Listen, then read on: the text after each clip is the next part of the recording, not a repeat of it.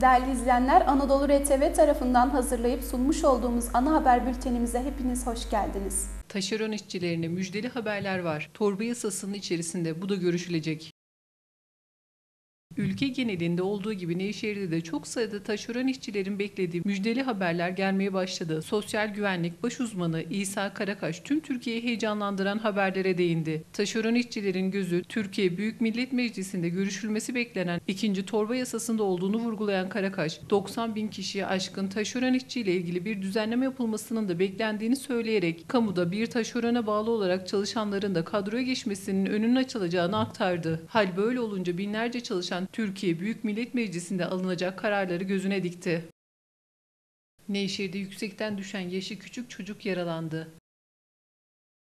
Nevşehir Kapıcıbaşı Mahallesi Vaiz Osman Sokak'ta bulunan iki katlı bir binanın birinci katından düşen yaşı küçük çocuk yaralandı. Düşme sonrası durumu fark eden aile hemen 112 ambulans ekiplerine bildirdi. Olay yerine giden sağlık ekipleri çocuğu ambulans ile hastaneye sevk ettirdi. Polis ekipleri konu hakkında soruşturma başlatırken yaralı çocuğun tedavisi Nevşehir Devlet Hastanesi'ne devam ediyor. Aksaray'da otomobilin takla atması sonucu sürücü yaralanırken araçta bulunan annesi hayatını kaybetti. Araçta bulunan ailenin köpeği ise yaralıların yanından ayrılmadı.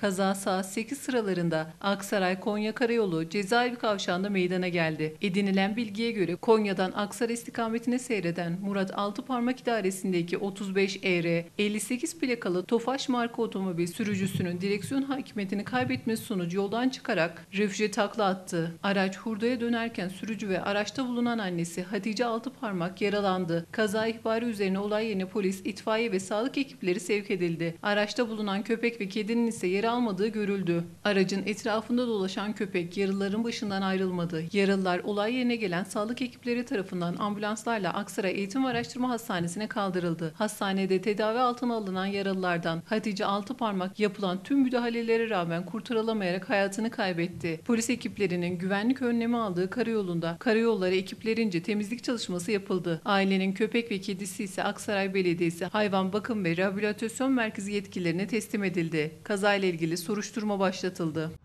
Gençler çıkıp çabuk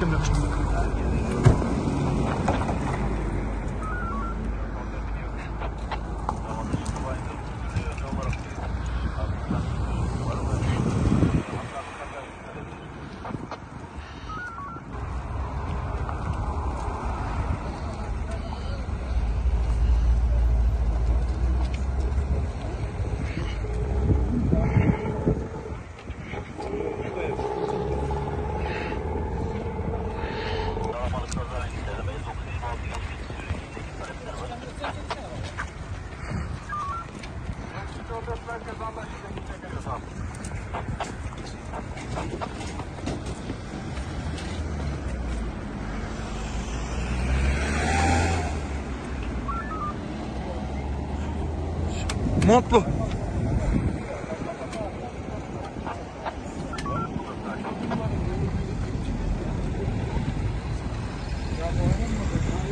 Hayvan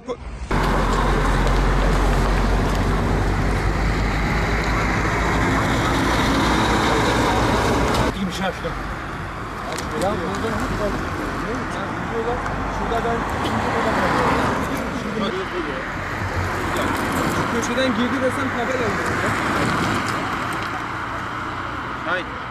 Olay yeri geliyor.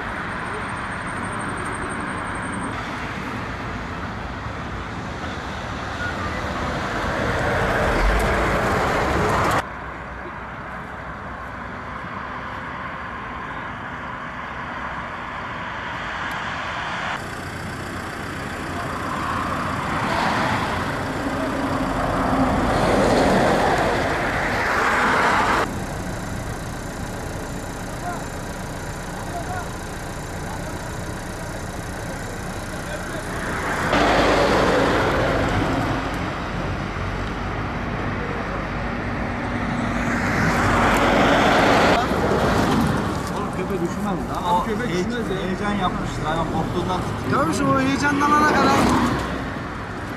Tamam bunu bağlayalım bu. Abi. Abi o kaçmaz bence ya. Belli de olmaz ya. Kaçmaz kadar.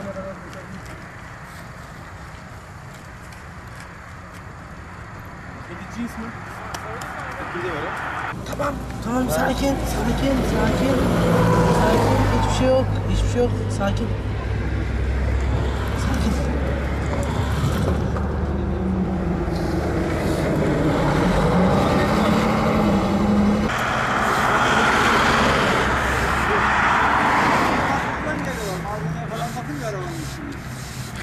Çıktım abi istemeden çıkıyor.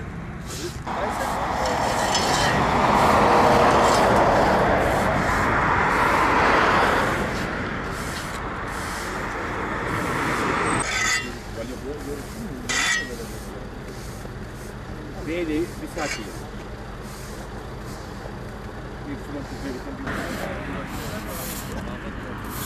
Bir daha.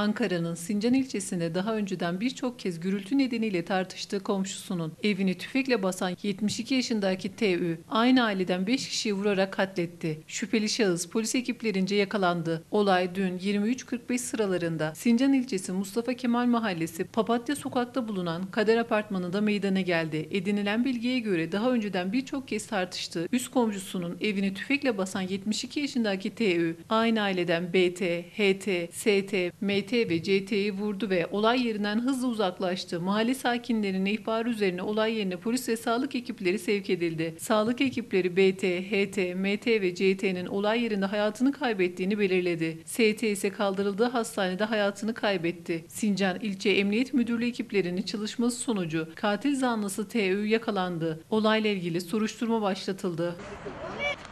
Nasıl komşusunuz? Tebrik eder hadi bakalım. Hı?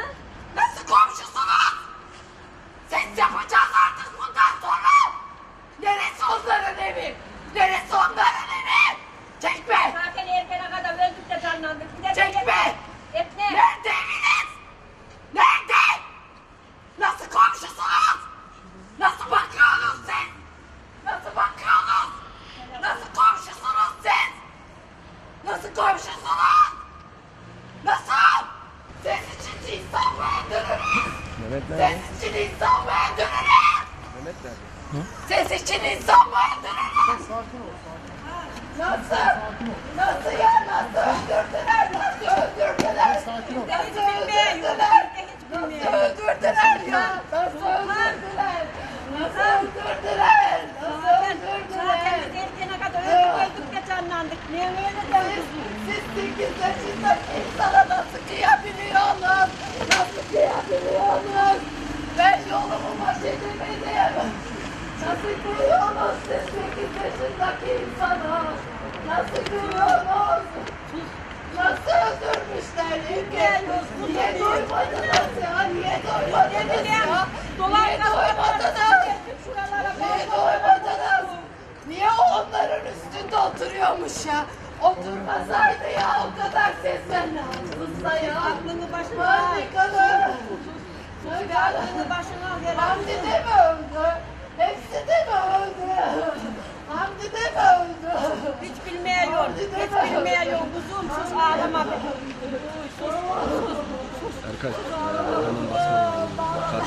Hayır değilsin evinde sabit kuzum. Yeni geldi zaten bizim düşmanımız o bu yeni. Nerede o adam? Nerede o adam? Nerede ailesi nerede? Bir aklını başına al. Sus. Sus. Hamdi de öldü? Hiç bilmiyor. Hasta diye hastanelere götüre hiç bilmiyor. Gecenin 11.30'unda 12'sinde iki el, se- ise- el sesi duyduk. Silah. Eşimle ben hatta çıkacaktım. Eşimi çıkarmadım. Ne olur ne olmaz. Gözü dönmüş her şey olabilir diye. Ondan sonra polisleri aradık. Polisleri arayınca da o beş ce- cesedi görüp engelli çocuğu da görünce biz direkt evimize şey yaptık. Aldık her insanın da yapması gereken bir şey. Komşu kav- kavgalılardı ama bir kavgada böyle beş e, cesetle de bitmemeli.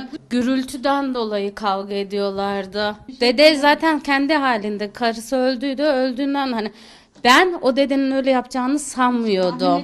Tanıyordum kadının tamam kendi ailevi, ailevi içinde kavga olabilir ama öyle dışarıda hiç şeyi yoktu. Zaten ben geceden beri uyanıp uyanıp ağlıyorum yani şok et- etkisindeyim daha konuşamıyorum. Siz duydunuz silah sesini. Tabii canım. O kargaşa anlatılmaz ya. Ya yaşanır yaşanmasın da hiç kimsenin başına vermesin. Allah'tan eşim yanımdaydı. Yoksa şoka girerdim. Zaten şoka da girdim. Krize de girdim. Silah bilmiyorum. Nutkum tutuldu. O engelli zaten bizim evden hiç çıkmadı. Ben kayınvalidem kucağına aldı. Ben sakinleştirmeye çalıştım. O Yavrum gözlerimdeki korku, o kulağını kapatması, şurasının elinin ısırıp da o kan oturması zaten olayı anlatıyor. O çocuğun o gözlerindeki korkuyu, kulaklarını kapatması engelli olabilir ama hissetmiş. Ben direkt onu çocuk geldi aklıma. Bir, bir şey olduk. Eşime dedim kalk hani bakalım öldüyse yardım edelim diye. Yoksa ben hani ka- öyle şeylere ıı, kalkmazdım. Kendi hallerindeydi. Aile arasında kavga ederlerdi ama hiç komşulara bir zarar Aynen yani öyle. yani. Çocuklar Hiç öylesine şey efendi böyle saygılı her gördüğünde selam verip konuşan biriydi. Öyle kadın da öyle. Hemen hemen Adam seni zaten kafasını belki de. kaldırıp da bir tane bile yerden bakmazdı bana. Kayınvalidesi de öyle. Daha elim kolum titriyor şöyle. Bu böyle bitmemesi gerekiyor. Komşu kavgası. Tam oturup konuşabilir ama beş can. Cinayet, katliam gibi. Aile komple bitti. Aileye dair hiçbir şey kalmadı ve komşuluk eskiden hani derler ya komşudan başka kimseye güvenilmez diye şimdi komşuya da güvenilmiyor. Kaç kere adam belirtisini verdi şöyle çöp için kavga ediyorlardı polise ihbar edip kaç kere polis geldi. Ondan sonra gürültü için o engelli çocuk işte öbür çocuklar e, maç yapıyormuştu. Onun için polis geldi. Adam daha öncesinde demiş ben bunun önlemini alın yoksa ben bunları öldüreceğim diye daha önceden belirtisini vermiş. E, ölen kadın buraya çöp topluyormuştu. O pislikten covid olduğunu inanıyormuştu. Eşi kendi eşinin covid olduğuna bunların yaptığını sanıyormuştu. Ondan sonra beni de covid yapacağınız yoksa ben sağ çıkmam diye ben artık ya bu- bunları biliyorum. Covid'den dolayı hani Yani uzun süredir aralarında var husumet var. Ya böyle kavga ediyorlardı. Bize o anda balkona bizim camlara bir şey geldi saçma gibi böyle kum saçar gibi. O anda dedim kızım dedim benim büyük kızıma. Bir dedim ses geliyor bir yerden bakalım çıktık dışarıya. Böyle pat pat aynı halı silkeler gibi ses geldi. O anda balkona çıktık. Ondan sonra benim kızım şey oldu. Anneyle kızı gördük balkonda. Şeydi bizi kurtarın dedi. Onda annemle şey abimle kardeşimle dedi. Babamı öldürdü dedi. O anda biz de işte benim kızım eve telefon almaya gitti. O anda onları da o balkonda vurdu. Katletti. Biz balkondaydık bize seslendi. Yok yoksa de herhalde saçma filan bir şeyler geldi. Bir sesler geldi de hissettik yani.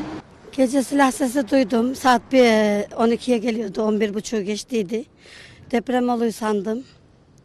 Ya da doğalgaz patladı sandım ben. Dışarıda ses duyunca çıktım kalabalığa. Ölmüşlerdi. Aşağıki yaşlı amcayla onlar sürekli kavga ederlerdi. Sürekli. Bunlar hurda topluyorlardı. Amca da rahatsız oluyordu. Hurda toplamayın diyordu. Bunlar hurda topluyorlardı çöpten. Hurda toplamayı da bıraktılar.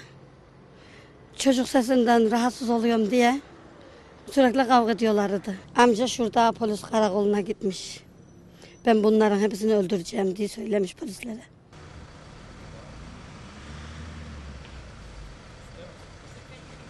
Kırşehir'de sosyal medya üzerinden ucuz otomobil satın almak isteyen bir vatandaş dolandırılmaktan son anda kurtuldu. Kırşehirli esnafın telefon konuşmasına şahit olduğu ve şehre Elazığ'dan geldiği öğrenilen vatandaş az kalsın dolandırıcıların kurbanı oluyordu. Olay sosyal medyada ucuz otomobil ilanlarına denk gelen vatandaşın dikkatini çekmesiyle başladı. İlanlarda çok düşük fiyatlarla satışı sunulan araçlar vatandaşın ilgisini çekti ve ilan sahibiyle iletişime geçti. Elazığ'dan Kırşehir'e ekspertize gelen vatandaşın satıcı ile yaptığı telefon görüşmesine şahit olan duyarlı esnaf vatandaşın 500 bin lira dolandırılmasını engelledi. Yaşanan telefon görüşmesini ve olayı anlatan esnaf Ramazan Korkmaz şunlara değindi. Şuradan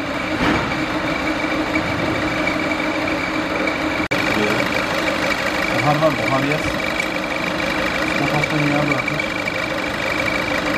Şöyle söyleyeyim, bir iki arkadaş e, bir araç hakkında Facebook'tan ilana atılmış araç. E, aracı alacak vatandaş Elazığ'dan geldi. Araç şöyle söyleyeyim, yani bedelinin altında olduğunu biz fiyatını öğrendik. Arkadaşı uyardım dedim ki bu bu şekilde olmaz yani o paraya bu arabayı alamazsın. Ondan sonra orada ikisi birbirini fark etti. Biri 850 bin liradan bahsediyor, biri 550 bin liradan bahsediyor. Aracın normal değeri zaten 9 bin lira. Ondan sonra arkadaşa söyledim dedim sen kimle konuştun? Ben bir arkadaşım var dedi onun adını alacağım falan. Ondan sonra araya üçüncü bir şahıs olduğunu ben anlayınca dedim ki siz birbirinizi bir arasanıza dedim. Biri diyor ki ben seninle konuştum o da onunla konuştuğu iddia ediyor ama öyle bir şey değilmiş. Üçüncü bir şahıs var arada. Öbürüne diyor "E, sen kesinlikle karşı tarafa bir şey söylemiyorsun. Arabayı ben oradan alıp sana ucuzca vereceğim diyor. O arada vatandaşı biz zor ikna ettik yani nasıl bir bağlandıysa arkadaş 550 bin lirayı direkt diğer o vatandaşın hesabına atıyordu. Biz son anda zor durdurduk yani. Polisi bile ara, aramamıza izin vermedi bir an. Tabi dinlemedik. Adamı da kurtarmış olduk böylece. Bir, bir malın bir değeri var. Ee, şöyle söyleyeyim. 800 bin liralık bir ürünü sen 900 bin liralık bir ürünü 550 bin liraya alırken düşünmen gerekiyor. Bizler sizi bilgilendirdik. Sizler de vatandaşlarımızı bilgilendirip dolandırıcılık konusunda engellediniz. Kırşehir Emniyet Müdürlüğü olarak duyarlılığınızdan dolayı teşekkür ederiz. Rica ederim. Ben teşekkür ederim sizin böyle bir şeyin içinde bulunup da bizi bilgilendirdiğiniz için. Bugün Nevşehir'de 10 kişi hayatını kaybetti. Nevşehir'in Gülşehir ilçesine bağlı Ova Öğrenköy sakinlerinden Naim Biçkin'in babası Mehmet Duran Biçkin yaşamını kaybetti. Merhumun cenazesi öğlen namazına müteakiben Nevşehir Ova Öğrenköy'ünde kılınan cenaze namazının ardından toprağa verildi. Nevşehir'in Ürgüp ilçesinde esnaflık ile uğraşan Fotokral Özkan Kostoğlu'nun abisi Muharrem oğlu Hakan Kostoğlu hayatını kaybetti. Hakan Kostoğlu'nun cenazesi ikindi namazını müteakiben Ürgüp'te toprağa verildi. Nevşehir'in Kozaklı ilçesine bağlı Doyduk köyünden Emrullah Şahinoğlu Müjdat Şahin hakkın rahmetine kavuştu. Merhumun cenazesi gün içerisinde kılınan namazın ardından toprağa verildi. Nevşehir Fatih Sultan Mehmet Mahallesi Bitki Sokak'ta ikamet eden 87 yaşındaki Hazım Yayvan hakkın rahmetine kavuştu. Merhumun cenazesi Fatih Sultan Mehmet Camii'nde kılınan namazın ardından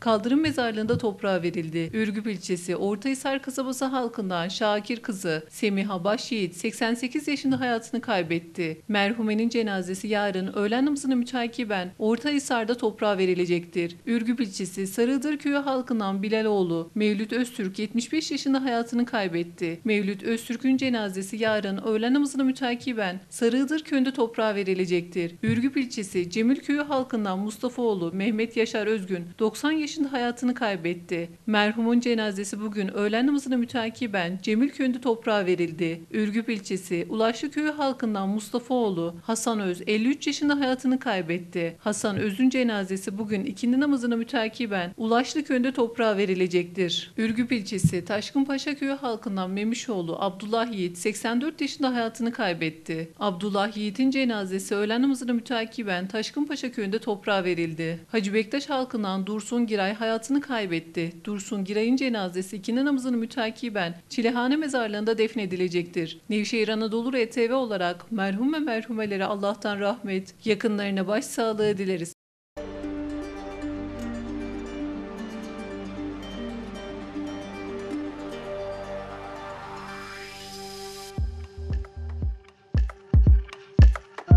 Kasım Perşembe döviz ve altın fiyatları gram altın alış 1883, gram altın satış 1889, çeyrek altın alış 3051, çeyrek altın satış 3079.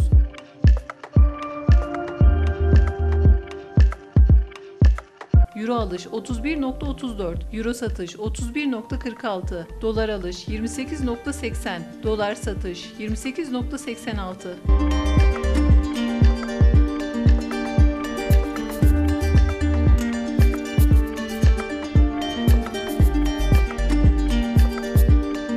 Anadolu RTV tarafından hazırlayıp sunmuş olduğumuz ana haber bültenimizin sonuna geldik.